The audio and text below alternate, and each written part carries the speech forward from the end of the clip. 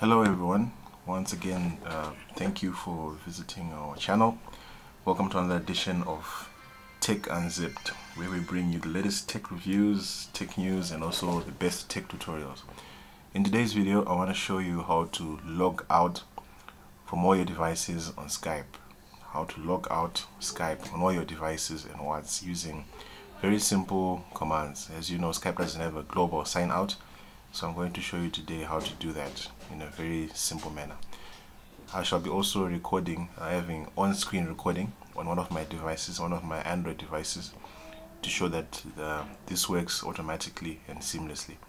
So if you check on your bottom right of the screen, there will be an on-screen recording of my one of my devices. Okay, so I'm just setting it up there opening up Skype.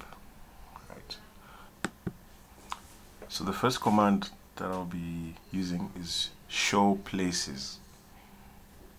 So these uh, this command shows the number of devices that I'm currently logged into.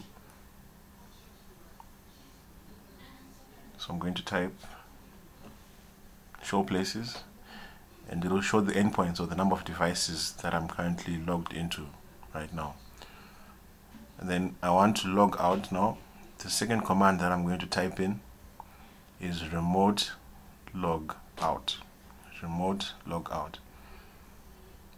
And it should automatically log out from all the devices that are currently logged into Skype.